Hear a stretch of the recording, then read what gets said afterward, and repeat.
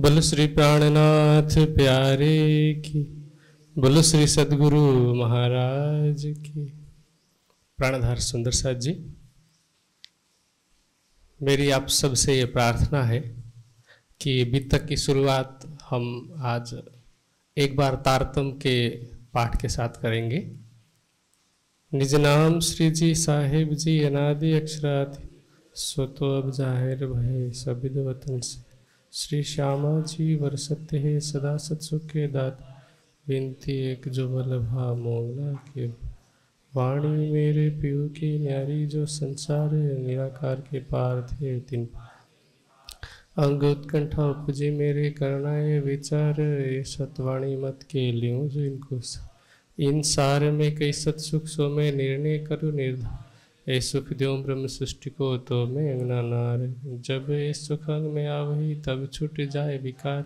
आयो आनंद अखंड घर को, श्री अक्षरातीत भरतार आयो आनंद अखंड घर को, श्री अक्षर। बोले श्री प्राणनाथ प्यारे की बोले श्री सतगुरु महाराज की।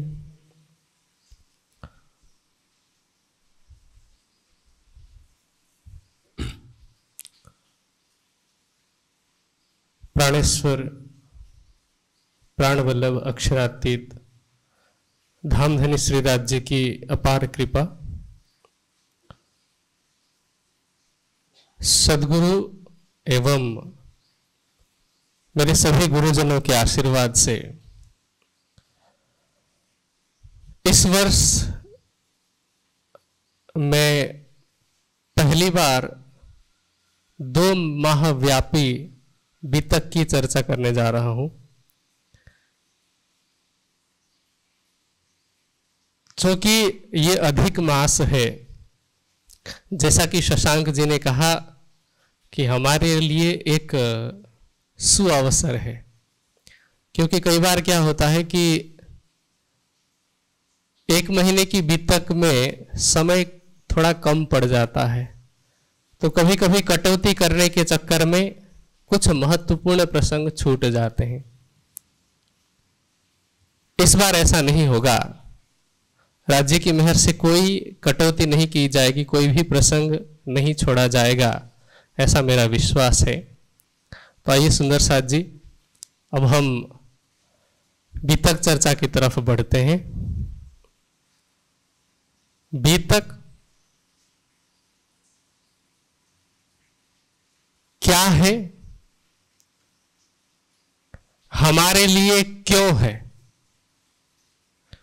और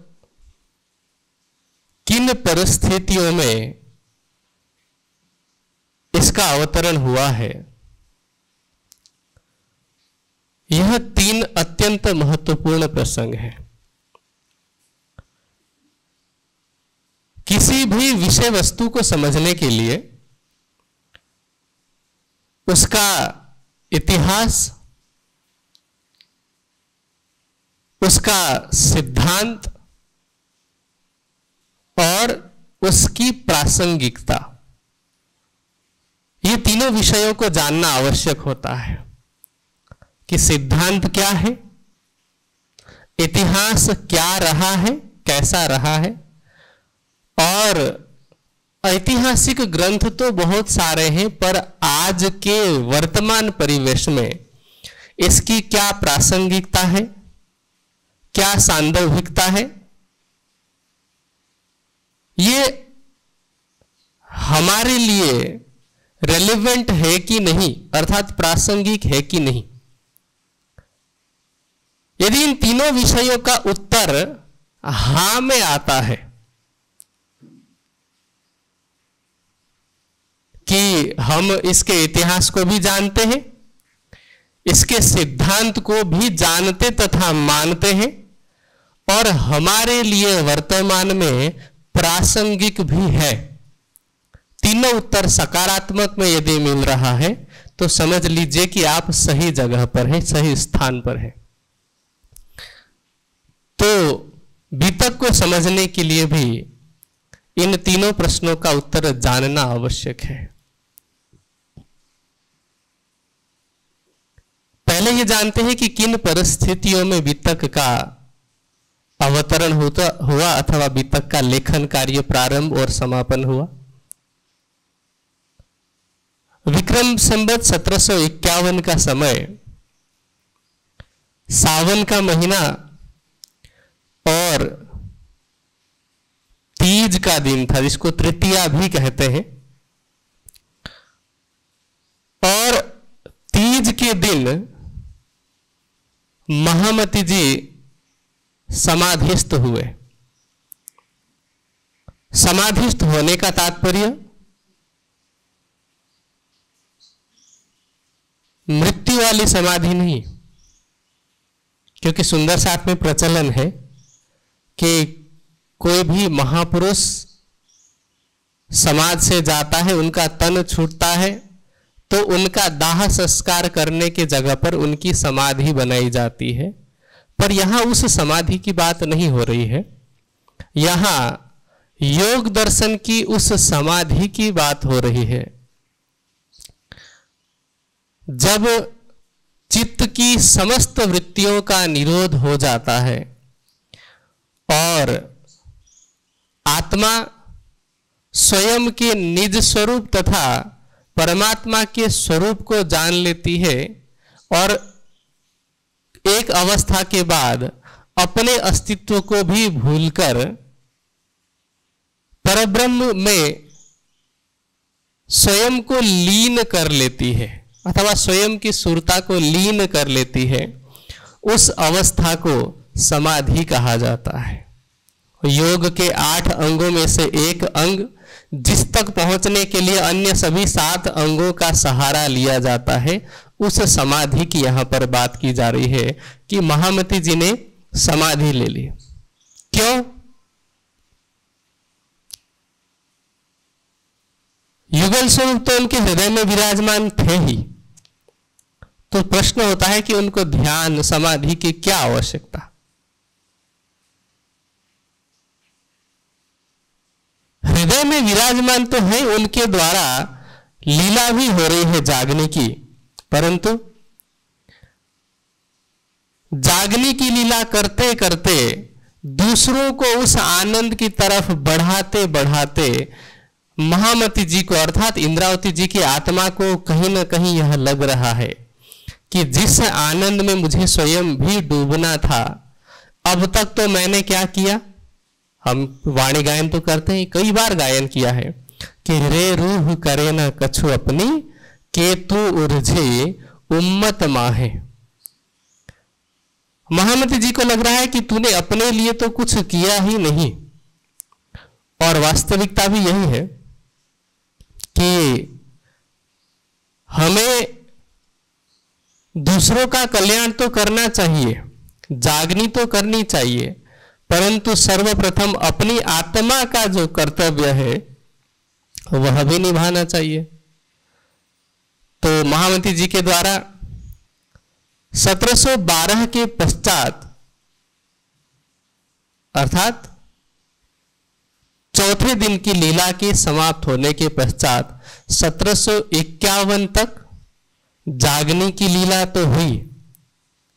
इस बीच उन्होंने हबसे के अंदर युगल स्वरूप को अपने हृदय में बसाया भी, पर सुंदर साथ की जागनी के, कर्तव्य को पूरा करने के दौड़ में,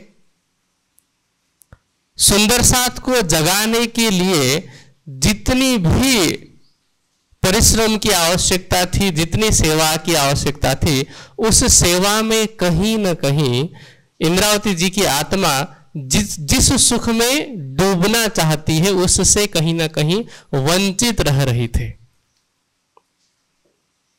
क्योंकि अक्षरातीत का हृदय तो प्रेम, आनंद का अनंत सागर है।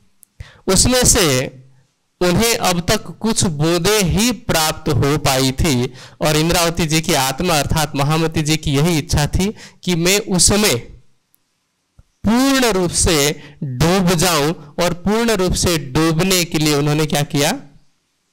समाधि ले ली। अब समाधि तो उन्होंने ले ली, लेकिन सभी सुंदर साथ को इस बात का पता नहीं है कि समाधि क्या होती है। समाधि की अवस्था में कैसा अनुभव होता है या बाह्य रूप से वह योगी कैसा दिखता है, जो समाधि ले रहा है। तो सुंदर साथ को लगा कि श्री जी ने तन छोड़ दिया अथवा श्री जी हमारे सामने से चले गए। राज जी हमें छोड़ करके परम धाम चले गए और उन्होंने विरह करना शुरू किया। अब संध्या काल में श्री जी की समाधि भंग हुई। उन्होंने देखा कि सुंदर साथ तो मेरे आसपास बैठे हुए हैं और भूखे प्यासे दिख रहे हैं, दुखी दिख रहे हैं, रो रहे हैं, आँखों में आँसू दिख रहे हैं। तो श्री जी समझ गए कि मामला क्या है। उन्होंने सुंदर साथ को कहा कि आप मेरी तरफ़ से बिल्कुल भी चिंतित ना हो और सभी लोग भोजन करके आ जाइए। इस तरह से भूखे प्यासे मत रहिए। अब सुंदर साथ को खाया तो नहीं जाना था। फिर भी चूँकि श्री जी का आदेश था, आदेश पालन करना भी आवश्यक है। अपने अपने घरों में गए। जल्दीबाजी में जो भी बन सकता है, जल्दीबाजी में सबसे जल्दी तो खिचड़ी ही बनाई जा सकती है। तो कुछ सुंदर साथ ने खिचड़ी वगैरह खाई और वापस आकर के बैठ गए। तब तक श्री जी पुनः समाधि ले चुके थे, उनकी समाधि लग चुकी थी। अब फिर सुंदर साथ को लग रहा है कि नहीं, श्री जी ने तन छोड़ दिया। और इस चीज़ के लिए हमें अपने से कुछ समय के लिए दूर भेजा। अब ऐसे में सुंदर साथ जो उस तन को ही सब कुछ समझ रहे थे और समझे भी क्यों ना? क्योंकि जो कुछ भी उन्हें प्राप्त हुआ था, वह तो उसी तन के माध्यम से ही प्राप्त हुआ था। अष्टप्रहर की सेवा का जब प्रसंग आएगा, तब भी हम जानेंगे। कि किस तरह से उस तन की सेवा की थी। खैर, तन का भाव लेकर के सेवा नहीं की है सुंदर साथ ने, पर सेवा तो उस तन की ही हो रही ना। जिस तन में राज्य बैठ करके लीला कर रहे हैं, उसको ही साक्षात राज्य का स्वरूप मान करके सेवा की जा रही है। तो अब जिसके माध्यम से सब कुछ मिल रहा था, सुंदर साथ को लगा कि यह तन अब हमसे ओझल हो गया है अब विरह की जो अवस्था होती है, कही जाती है कि, वाणी क्या कहती है? विरहा गतरे जाने सोई, जो मिलके बिछुरी हुई जो मीन बिछुरी जल थे या गत जाने रे सोई। वहाँ कुछ करना नहीं पड़ा। देखिए, एक अवस्था होती है दुख वाली, और दूसरी अवस्था होती है विरह वाली। दुख में तो फिर भी कहीं ना कहीं बुद्धि का कार्य चल रहा होता है। पर विरह की अवस्था में बुद्धि की कोई क्रिया नहीं चल रही होती है।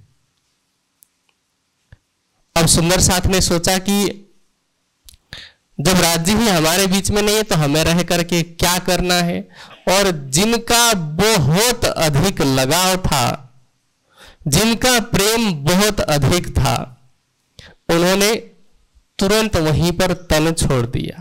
पर कुछ सुंदर साथ ऐसे हैं जिनका प्रेम तो बहुत अधिक है, पर चूँकि राज्य उस तन से अभी और सेवा लेना चाहते हैं, इस वजह से राज्य का आदेश समझ करके वह अपने तन को नहीं त्याग पाते हैं, नहीं छोड़ पाते। देखिए दुख में तन छोड़ देना बहुत आसान है। खैर, जितना मैं कह रहा हूँ, जितनी आसानी से, उतना आसान भी नहीं है, पर उस दुख को याद करते हुए, उस विरह में तड़पते हुए जीवित रहना और रह करके फिर उसी के विषय में सोचते रहना और उसी के कार्य को करना, ये और भी कठिन होता है। और कुछ सुंदर साथ को ऐसी ज़िम्मेदारी दी गई। इस कर्तव्य के कारण ही कुछ सुंदर साथ अपना तन नहीं छोड़ पाए। जैसे केशवदास जी हैं, लालदास जी हैं, और भी कई सुंदर साथ हैं जिनके द्वारा आगे जागने की लीला होनी है छठे दिन में। अब चतुर्थी के दिन, क्योंकि तीज के दिन ऐसा हुआ, चतुर्थी के दिन प्रातः ब्रह्म मुहूर्त में लगा लगभग पाँच सवा पाँच बजे के आसपास महाराजा छत्रसाल जी को अंत प्रेरणा होती है कि पन्ना जी में कुछ हुआ है। कोई अनहोनी घटना हुई है। अब उस समय छत्रसाल जी पन्ना जी में नहीं थे।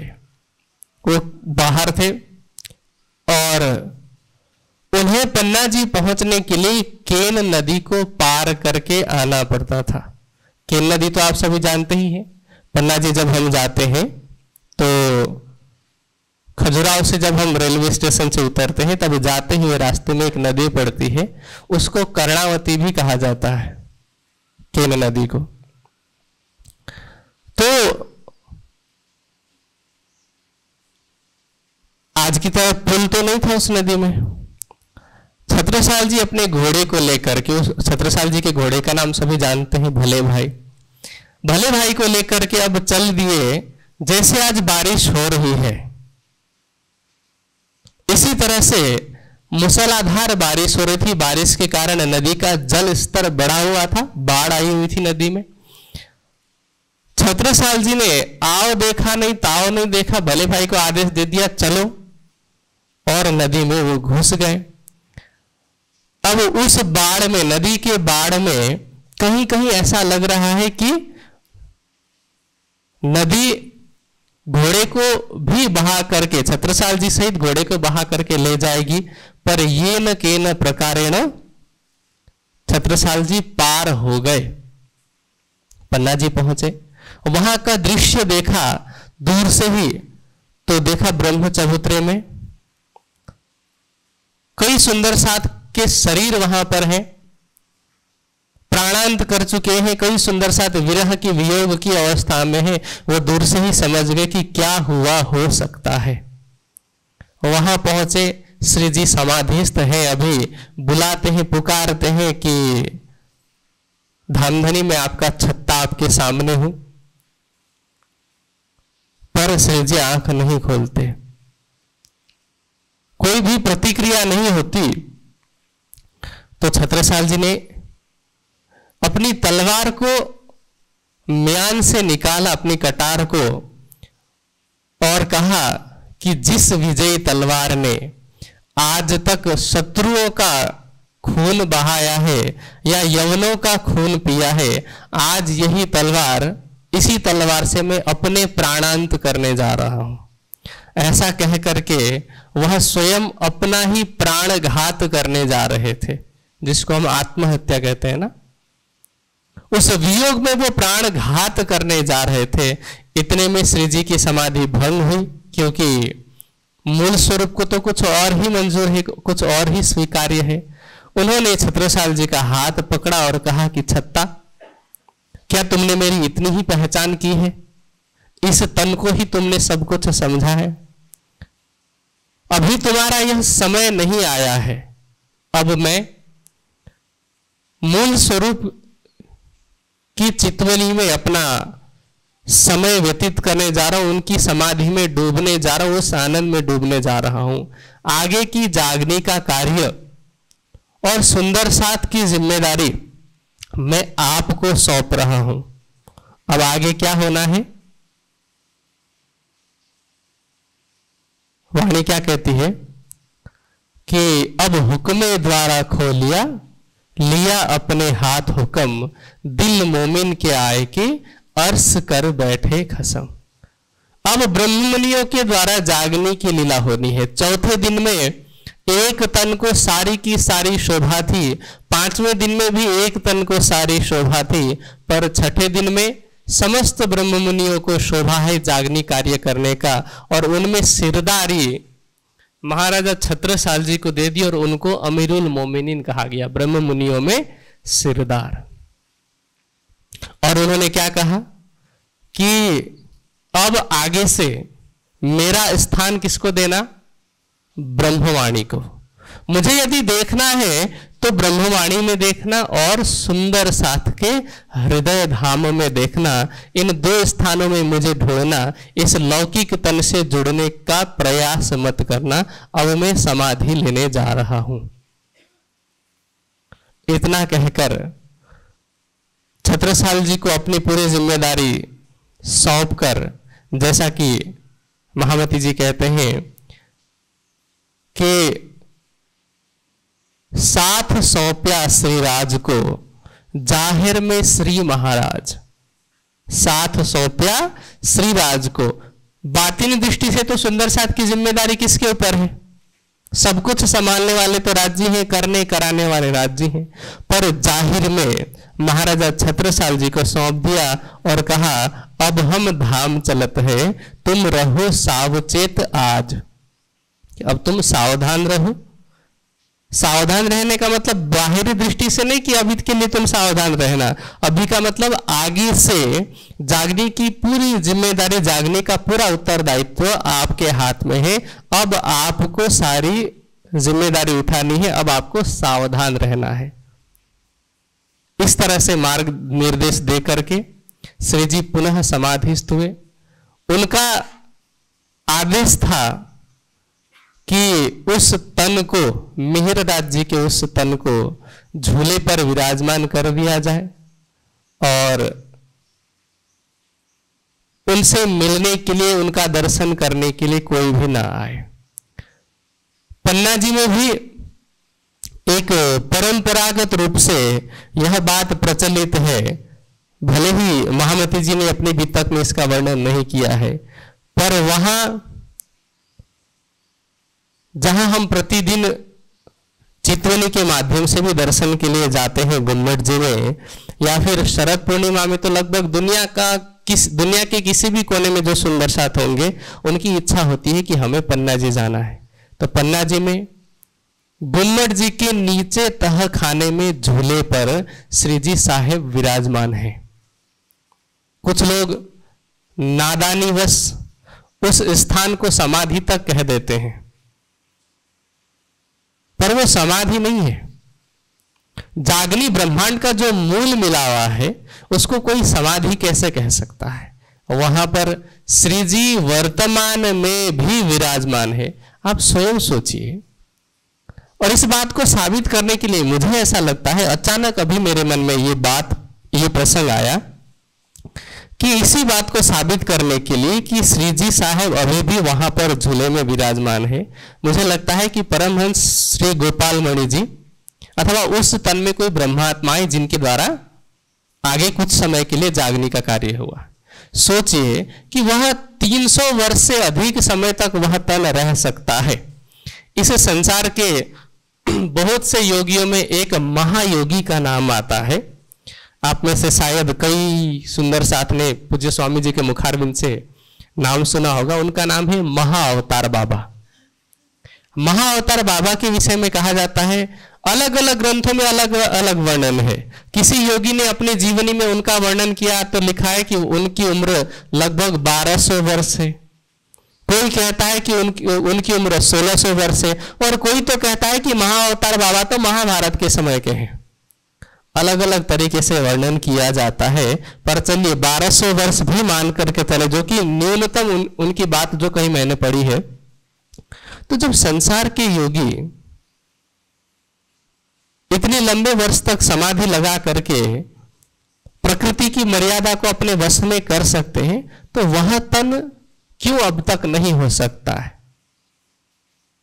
योगीराज शिव के विषय में कहा जाता है कि वो पाँच पाँच हज़ार वर्षों की समाधि लगाया करते हैं। तो सोचिए कि शिव जी जिसकी भक्ति करते हैं, जिस परब्रह्म की, वह परब्रह्म जिस तन में विराजमान होकर के लीला कर रहा, वो तन क्यों नहीं जीवित हो सकता? मुझे नहीं लगता कि इसमें किसी भी तरह से शंका रखने की आवश्यकता है। क्योंकि उसके बाद भी यह प्रसंग चलता आया है कि श्री जी के समाधिस्थ होने के, सत्रह में समाधिस्थ हुए, सत्रह तक भी वर्णन आता है कि समय समय में, जब जब भी महाराजा छत्रसाल जी को विशेष प्रकार के मार्गदर्शन की आवश्यकता होती थी तो वहाँ वहाँ तहखाने में जाकर के, तहखाना ही कहेंगे उसको ज़मीन के नीचे का जो हिस्सा है तो वहाँ जाकर के तलहटी बोलते हैं इसको, है ना? वहाँ जाकर के महाराजा छत्रसाल जी या जो उस समय के प्रमुख सेवादार सुंदर साथ ब्रह्म मुनि थे, वो श्री जी से मिलते थे, दर्शन करते थे। एक दिन कहा जाता है कि कोई बुढ़िया थी, कोई माता थी, उनको पता चला, वो भी पीछे पीछे छिपते छिपाते आए और आकर के श्री जी को प्रणाम करके कहा कि मेरे बेटी का विवाह नहीं हो रहा है अथवा विवाह होने वाला है तो आप कुछ दे दीजिए मेरी बेटी के लिए। लौकिक इच्छा थी। अब सोचिए कि जो व्यक्ति व्यक्ति में एक समझाने के भाव से बोल रहा हूँ, जो विभूति समाधि की अवस्था में डूबकर उस ब्रह्मानंद का रसपान कर रहा हो, उसको इस संसार में दो चार स्वर्ण मुद्रा के लिए जगाया जाए या उसकी समाधि, उस आनंद को भंग किया जाए तो उसको कैसा लगेगा? बुरा लगना स्वाभाविक ही है। तो इसलिए श्री जी ने आदेश दिया कि इस मार्ग को अब पूरी तरह से बंद कर दिया जाए। मेरे स्थान पर ब्रह्मवाणी को पधराया जाए, ब्रह्मवाणी को रखा जाए, जैसा उन्होंने आदेश तो पहले दिया ही था। इसीलिए उस स्थान को बंद कर दिया गया। लेकिन गुम्मट जी में आज भी श्री जी विराजमान है।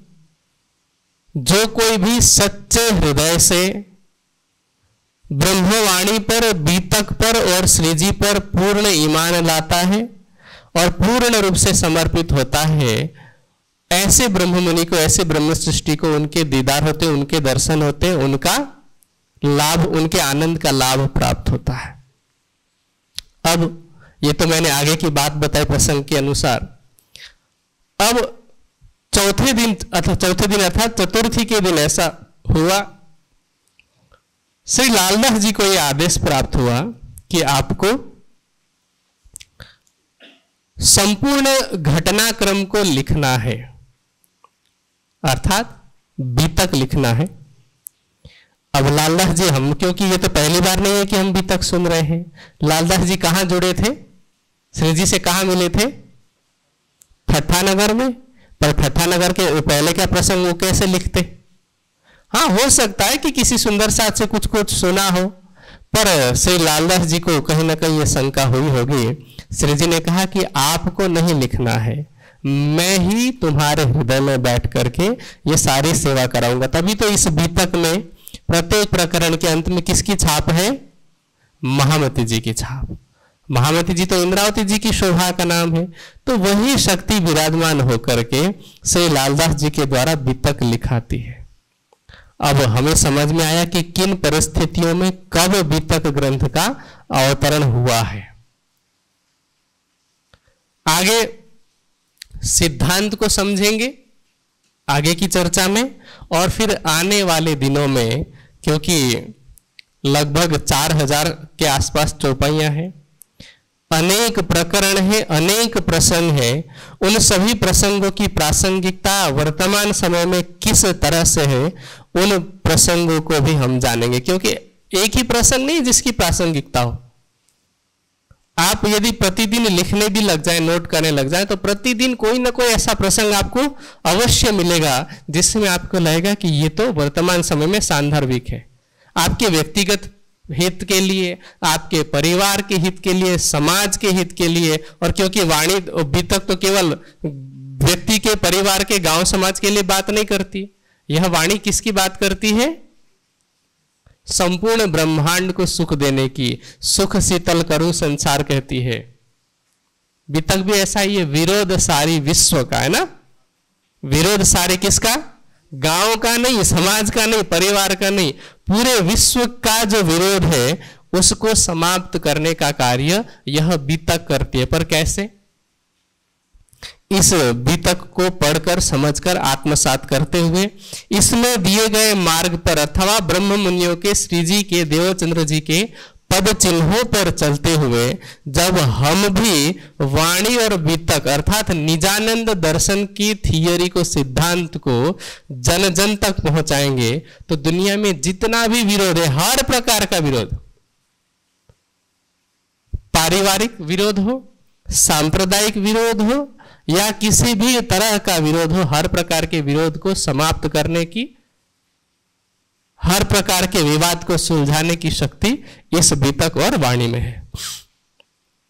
तो प्रासंगिकता का, का पता हमें प्रतिदिन के प्रसंग से पता चलेगा। अब इतिहास का पता चला कि किन प्रसंगों में लिखा गया। प्रासंगिकता का पता हमें धीरे धीरे चलता जाएगा। अब प्रश्न यह है कि बीतक क्यों? यह भी तो प्रश्न था कि वितक की आवश्यकता क्यों? क्योंकि संसार में धर्म ग्रंथों की तो गणना अनेकों में है। वेद कितने हैं?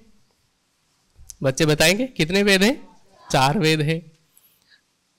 उपवेद कितने हैं? उपवेद भी चार ही है।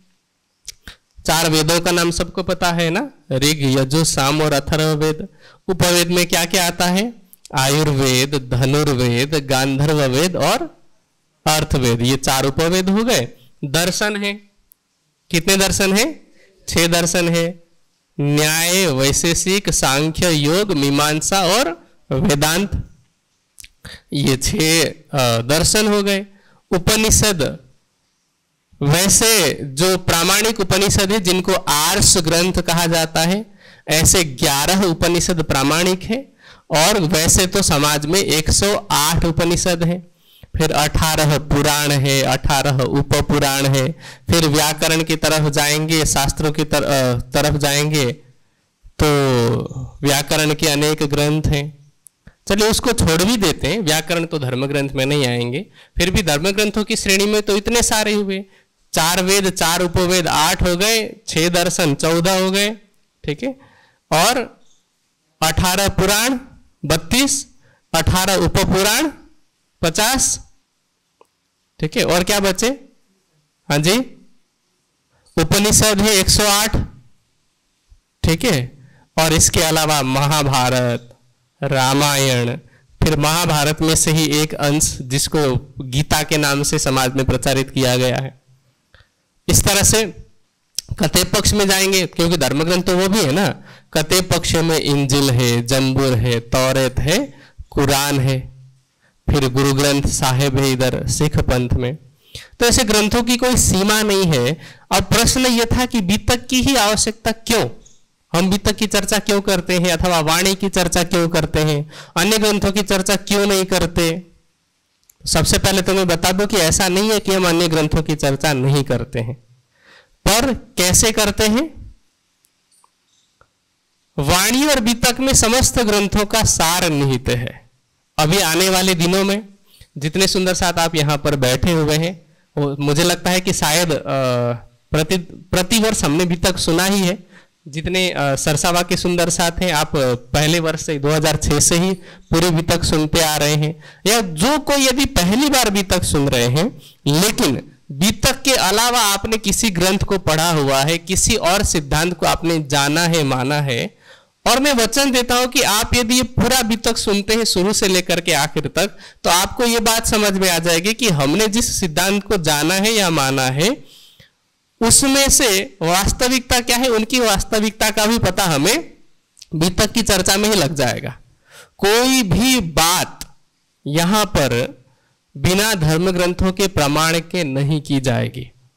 ऐसा नहीं कि कोई नया सिद्धांत शुरू कर दिया गया। कई बार क्या होता है, हम समाज में सुंदर सा जब जाते हैं ना, प्रचार प्रसार के लिए कई बार जाते हैं। या फिर कभी ऐसे यात्रा कर रहे होते हैं, किसी विशेष प्रकार की वेशभूषा होगी। यदि तो आपसे पूछा जाएगा कि आप कौन से धर्म को मानने वाले हैं? क्योंकि धर्म ही पूछा जाता है। तो जब आप कहेंगे कि मैं निजानंद दर्शन अथवा निजानंद संप्रदाय को मानता हूँ, उनको लगेगा कि कोई नया धर्म है क्या? ऐसे पूछेंगे पहले तो। तो उनको भी आप जवाब दे पाएँगे। यदि आप पूरी भी तक सुनेंगे तो आप जवाब दे पाएँगे। जैसे आप हरिद्वार का प्रसंग सुनते हैं तो हरिद्वार में श्री जी को क्या कहा था कि आपका धर्म तो हमें नया लगता है। श्री जी ने पहले कहा कि आप तो पुराने पुरातन हैं, आप अपना सिद्धांत बताइए, लेकिन फिर बाद में श्री जी ने किस तरह से उत्तर दिया? तो ऐसे अनेक प्रसंगों से हम इस बीतक की प्रासंगिकता को, सांदर्भिकता को जान सकते हैं। अब प्रश्न था कि क्यों हम बीतक की चर्चा सुनते हैं? चूँकि इस बात को आप थोड़ा, थोड़ी गहराई से समझिए। व्यक्ति जब से होश संभालता है, तभी से यदि थोड़ा सा भी सजग है, थोड़ा सा भी सजग, और सजग लोगों की संसार में कमी है, जाग रहे हैं, पर सजग लोगों की कमी है। आँख खुली है कान खुले हैं, बुद्धि भी चल रही है, पर कहाँ चल रही है? जहाँ जितना भी चलाया जाए, निष्फल है, वहाँ पर बुद्धि चल रही है। तो सजगता की कमी है। यहाँ सजगता की कमी कहने का क्या तात्पर्य है? कि हम सभी यंत्रवत चले जा रहे हैं। यंत्रवत मतलब मशीन की तरह, रोबोट की तरह चले जा रहे हैं। कैसे? जैसे रोबोट के साथ क्या होता है? उसको चार्ज करना पड़ता है और कमांड देने वाला जो व्यक्ति होता है प्रोग्राम करने वाला, जो प्रोग्रामिंग उसमें एक बार की जाएगी, वही रिपीट होती जाएगी, एक बार चार्ज करो ऑन करो सेम प्रोसेस उनका चलता रहता है। और यंत्रवत भी मैं नहीं कहूँगा, मनुष्य अधिकांश मनुष्य आठ अरब की जनसंख्या अभी लगभग दुनिया में। पर इसमें से पंचानबे से अधिक प्रतिशत जो मनुष्य के हैं, वे सभी पशुवत चले जा रहे हैं, पशु की तरह। पशु का पूरा का पूरा फोकस किसमें होता है? किसमें चार चीज़ें है ना?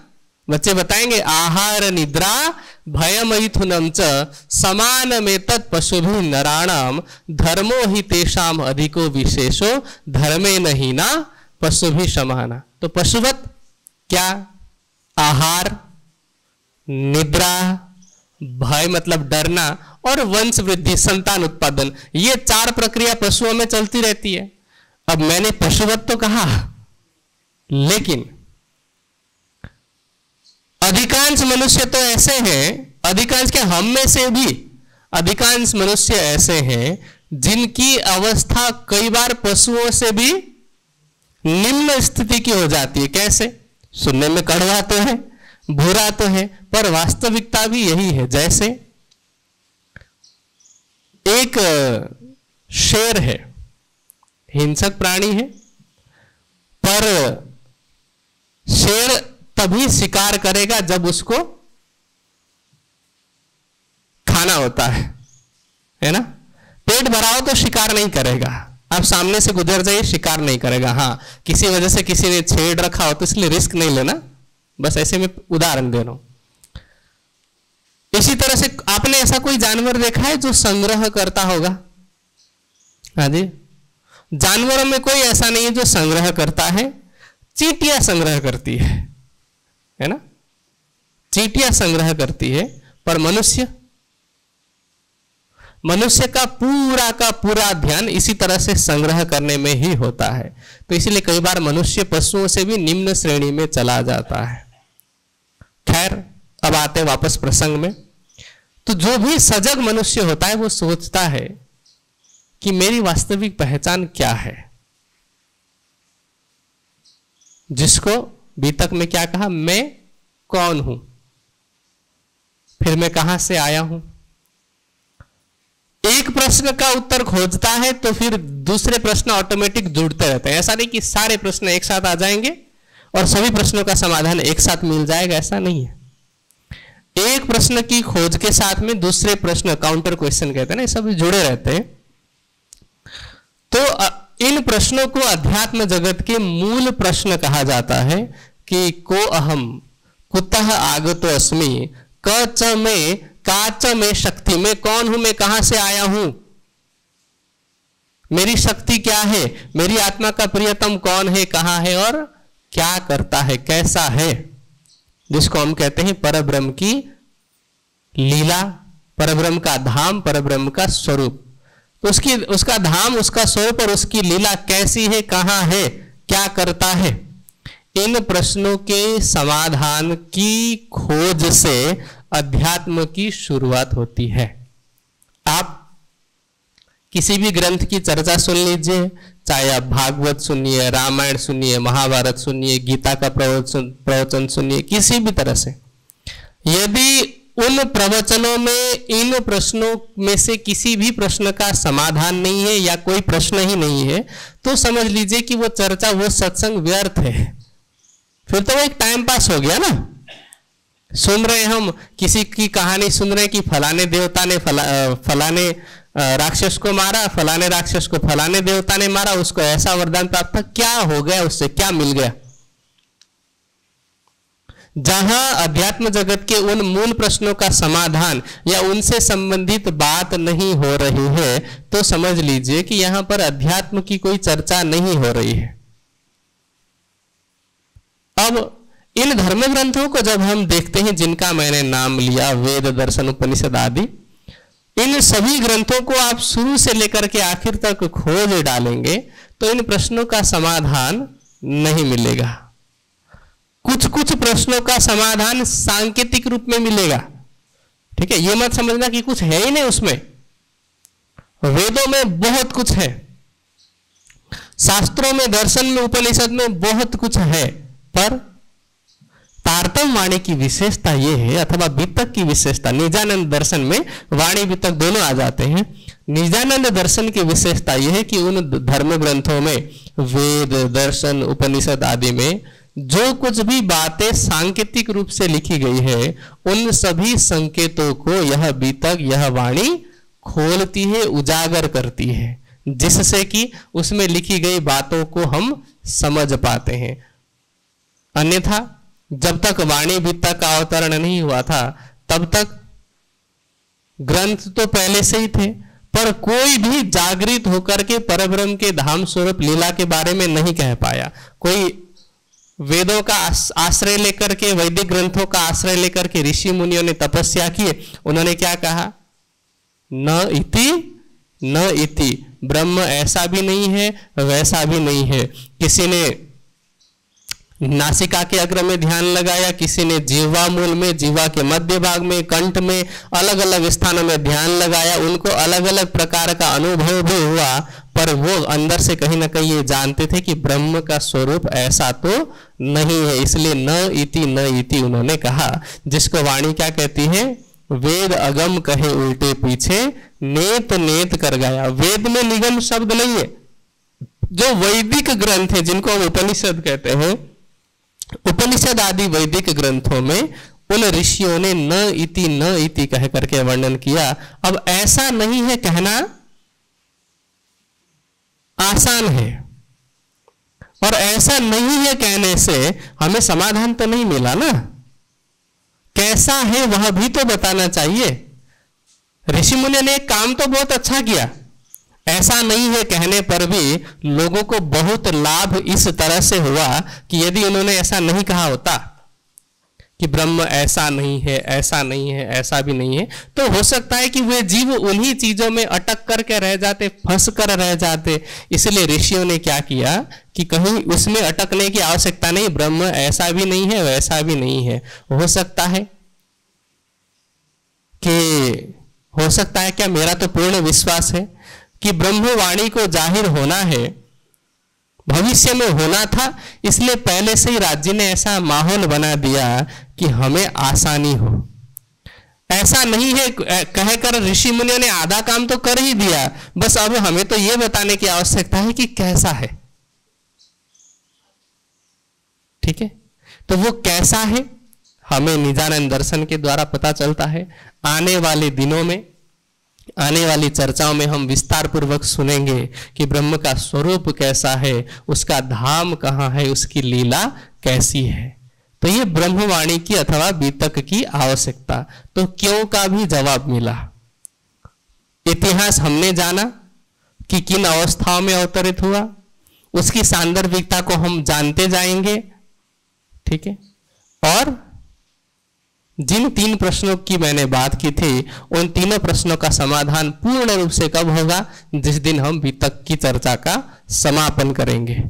तो बौद्धिक रूप से हम इस सावन के महीने में, जहाँ तक मेरा विश्वास है, यदि आप नियमित रूप से आएँगे तो परब्रह्म के धाम स्वरूप और लीला और इतना ही नहीं, अध्यात्म जगत के सभी मूल प्रश्नों का समाधान जान पाएँगे। हाँ अब केवल ब्रह्म को जानना तो उचित नहीं है, केवल जानने का तो लाभ नहीं है, केवल जानने से लाभ हुआ होता तो श्री जी समाधिस्थ क्यों होते? हैं तो जानना उपयोगी है, जानना उपयुक्त है, पर उससे भी महत्वपूर्ण है उसको पाना। तो पाने के लिए क्या करना चाहिए, वह भी इसमें रास्ता चल करके दिखाया कि किस राह पर चल करके हम उस ब्रह्म को प्राप्त कर सकते हैं, ब्रह्मानंद को प्राप्त कर सकते हैं। तो ऐसी इस बीतक की शुरुआत हम करने जा रहे हैं और इस बीतक में सबसे पहले लिखा है, अथ तीनों स्वरूपों की बीतक लिखते। अथ शब्द का अर्थ होता है अब, और प्रयोग करने का कारण है अधिकार के अर्थ में। अथ शब्द का प्रयोग अधिकार के अर्थ में किया जाता है। इसका भाव मंगलाचरण से है। अथ शब्द है मंगलाचरण से मंगलाचरण तो समझते ही है। मंगल आचरण मतलब आगे जो हम करने जा रहे हैं, वह अच्छे प्रकार से हो, अच्छी तरह से हो। इसलिए कोई भी आर्स ग्रंथकार आराध्य का ध्यान करता है, पहले अपने आराध्य को याद करता है और ग्रंथ लिखने से पहले कहता है कि अब मैं ऐसा लिखने जा रहा हूँ। जैसे योग दर्शन को लिखने से पहले पतंजलि मुनि ने भी ऐसा ही किया और योग दर्शन के सबसे पहले उन्होंने कहा, अथ योग अनुशासनम।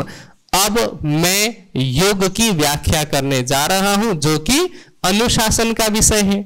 वेदांत दर्शन में सबसे पहले क्या कहा, अथा तो ब्रह्म जिज्ञासा, दूसरे सूत्र में कहा, जन्मादि यस्य यतः। दोनों सूत्रों का मिलाकर के भाव ये होता है कि अब मैं, वेदांत दर्शन में व्यास मुनि कह रहे हैं कि अब मैं उस ब्रह्म के विषय में बताने जा रहा हूँ, जिसकी जिज्ञासा करनी चाहिए, जिसको जानने की इच्छा करनी चाहिए, क्योंकि जो जन्मादि यस्य सृष्टि के जन्म और नाश होने का, अर्थात प्रारंभ होने का और समाप्त होने का ये कारण है। अर्थात जिससे ये सृष्टि बनी, उसको जानने का हम प्रयास करेंगे। तो जहाँ अर्थ शब्द आएगा, अर्थ के बाद जो प्रसंग आता है, उस प्रसंग का उस पूरे ग्रंथ में अधिकार रहता है। जैसे अथ योग अनुशासन आया तो योग दर्शन में शुरू से लेकर के आखिर तक किसका अधिकार रहेगा? योग का। वेदांत दर्शन में अथा तो ब्रह्म जिज्ञासा है तो वेदांत दर्शन को दूसरा नाम क्या कहते हैं हम? ब्रह्म सूत्र ब्रह्म को जानने का सूत्र, इसी तरह से इसमें। क्या कहा है? अथ तीनों स्वरूपों की बीतक लिखते। तो इस ग्रंथ में अधिकार किसका है? तीनों स्वरूपों का अधिकार है। कहने का मतलब यह है कि इस ग्रंथ में तीन स्वरूपों का वर्णन किया गया है। और साथ में अब ऐसा तो नहीं कि केवल तीनों स्वरूपों का वर्णन किया है। वर्णन का मतलब ऐसा थोड़ी कि, कि किसी भी व्यक्ति की कहानी अकेले तो समाप्त नहीं होती है ना? उसके साथ जितने जुड़ने वाले लोग हैं या जिन जिन स्थानों में वो गए उन सबका वर्णन है। तो इसीलिए सभी का इसमें वर्णन है। पर अधिकार किसका है? ये बीतक किसकी है? तीनों स्वरूपों की। तो अर्थ शब्द का जो प्रयोग है, वो अधिकार के अर्थ में, मंगलाचरण के रूप में किया जाता है। इसी का गुजराती अनुवाद अब को गुजराती में कहते हैं हवे। तो वाणी की प्रारंभ में क्या चौपाई है? हवे, पहला मोह जलनी कहूँ बात। आप परिक्रमा ग्रंथ पढ़ेंगे तो परिक्रमा ग्रंथ की पहली चौपाई क्या है? अब अब कहूँ रहे ना? आप प्रगट वाणी पढ़ेंगे तो प्रगट वाणी की पहली चौपाई क्या है? हाँ जी? अब लीला हम ज़ाहिर करें, जो सुख सैया हृदय धरे। तो आप कोई कोई हर महत्वपूर्ण प्रसंग से पहले आप देखेंगे कि जैसे बीतक में अर्थ है, दर्शन इत्यादि में अर्थ है, वेदों में ओम है, और वाणी में हवे अथवा अब से शुरुआत की गई है। ठीक है? तो अथ तीनों स्वरूपों की बीतक लिखते से लेकर के बीतक की शुरुआत हो गई। अब तीनों स्वरूपों के विषय में सुंदर साथ में कुछ भ्रांति है। कोई इसको बसरी मल की और हकी स्वरूप की बीतक कहता है तो एक वर्ग कहता है कि नहीं, इस बीतक में तो बसरी स्वरूप का वर्णन नहीं है। हाँ प्रसंग आया है, पर बसरी स्वरूप से ज़्यादा चौपाइया तो ब्रज और रास के लिए है। लेकिन यहाँ न ब्रज वाले स्वरूप से है, न बसरी स्वरूप से है। यहाँ पर तीन स्वरूप कहने का मतलब क्या है? मल की स्वरूप श्री देवचंद्र जी हकी स्वरूप श्री प्राणनाथ जी, तथा छठे दिन की लीला के प्रारंभ में जिस ब्रह्म मुनि के द्वारा जागने की लीला हुई सर्वाधिक, वह महाराजा छत्रसाल जी। ऐसा इसीलिए क्योंकि बीतक के दूसरे प्रकरण में आप इसका प्रमाण पाएँगे, इसमें क्या कहा है कि तीन स्वरूप की बीतक जन्म से लेकर सो कहूँ आगे सैयनो ये चर्चा सब ऊपर। पहले तो जन्म से लेकर अभी तक की बात की है। फिर क्या कहा गया है? सोई शरत कुरान में लिखी 120 बरस, चार, पाँच और छठा दिन तब ज़ाहिर हो गया रस। तो 120 बरस की लीला भी घटित होनी चाहिए तीन स्वरूप में, और चौथे, पाँचवें, छठे दिन की लीला भी घटित होनी चाहिए। तो 120 बरस प्रारंभ होते हैं 1638 से और सत्रह सौ अठावन तक। इक्यावन में श्री जी समाधिस्थ हुए। उसके बाद आगे सात साल तक 120 वर्ष की लीला महाराजा छत्रसाल जी के द्वारा चलती गई। तो चौथे दिन की लीला के प्रतिनिधित्व श्री देवचंद्र जी, सदगुरु धनी श्री देवचंद्र जी। पाँचवें दिन की लीला के प्रतिनिधित्व के रूप में श्री जी, महामती जी और छठे दिन की लीला का प्रतिनिधित्व करने वाले महाराजा छत्रसाल जी। तो इन तीन स्वरूपों की बीतक का इसमें वर्णन है। बीतक का मतलब केवल घटनाक्रम नहीं है। बीतक मतलब कथा नहीं है। बहुत सारी जगह पर मैं देखता हूँ, आजकल फेसबुक में या सोशल नेटवर्किंग साइट में बीतक कथा बीतक कथा ऐसा कहते हैं। कथा मतलब तो एक तरह से कहानी हो गई, ये कहानी नहीं है। बीतक को वृत्त भी कहा जाता है वृत्तांत वृत्त किसको कहते हैं पता है? ज्योमेट्री में वृत्त को सर्कल को वृत्त कहते हैं, ठीक है? और कोई सर्कल कब पूरा होता है? जिस पॉइंट से आपने शुरू किया है, घुमा करके उसी पॉइंट में जब तक आप नहीं रख देते, तब तक तो वृत्त नहीं होता। अगर उस पॉइंट से एक मिलीमीटर भी पहले आप छोड़ रहे हैं तो वो सर्कल है वो एक लाइन है, एक रेखा है, भले ही वो वक्र रेखा हो, ठीक है? पूरा जब टच होता है तो उसको वृत्त कहते हैं, इसी तरह से बीतक की शुरुआत कहाँ से होती है? दूसरे प्रकरण में महाकारण से। ठीक है? अब कहूँ फेर के ना? मूल मिलावे की बीतक। तो मूल मिलावे से शुरुआत होके वापस मूल मिलावे में जागृत होने तक को की घटनाक्रम को बीतक कहा जाता है, जिसमें इस ग्रंथ के अंदर मूल मिलावे की बीतक से लेकर के छठे दिन की लीला का वर्णन है। सातवें दिन में क्या होना है, उसका भी वर्णन तो है सांकेतिक रूप में और परम धाम में जागने के विषय में भी बताया गया है। तो आप कुल मिला के देखेंगे तो पूरे सात दिन की लीला का इस ग्रंथ में वर्णन है।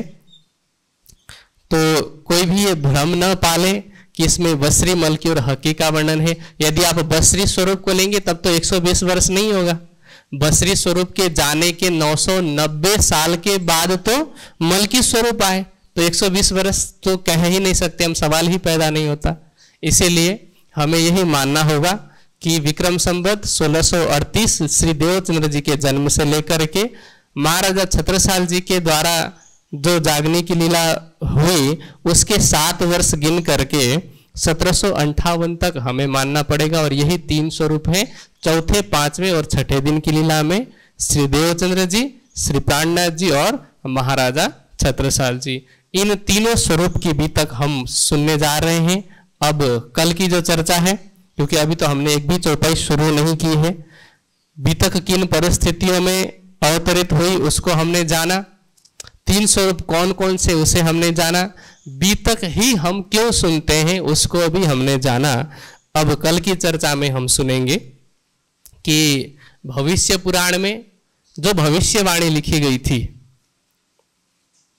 भविष्य पुराण का मतलब तो समझते हैं ना, एक ग्रंथ है जिसमें भविष्य में क्या होगा ऐसा भूतकाल में ही लिख दिया गया था कि परब्रह्म इस संसार में आने वाले हैं, जब आएँगे तो कैसी परिस्थिति होगी, किन परिस्थितियों में इस संसार में परब्रह्म ब्रह्म मुनियों के साथ में आएँगे। तो उस भविष्य पुराण के कथन को हम जानेंगे और उसके बाद परम धाम में किस तरह से प्रेममयी संवाद हुआ और इस संसार में ब्रह्मात्माओं के आने की भूमिका कैसे बने? ऐसा क्या हुआ कि ब्रह्म सृष्टियों को यहाँ आना पड़ा? ऐसा क्या हुआ कि ब्रह्मानंद में लीन रहने वाली ब्रह्म ब्रह्म सृष्टियाँ इस असत जड़ दुख के संसार में आई? इस प्रसंग को हम सुनेंगे कल, आज के लिए, क्योंकि समय समाप्त होता है। इस आज की चर्चा को हम यहीं पर समाप्त करेंगे। कल आने वाली पहली चौपाई को आज हम दोहराते हैं, ठीक है? भविष्य पुराण में, राजा कहे जुग चार, वचन जो है व्यास के ताको करो विचार। ताको करो विचार। बोले श्री प्राणनाथ बोले श्री सदगुरु महाराज। प्रणाम जी। प्राणधर सुंदर साथ जी, इतनी वर्षा में आप सब आए हैं।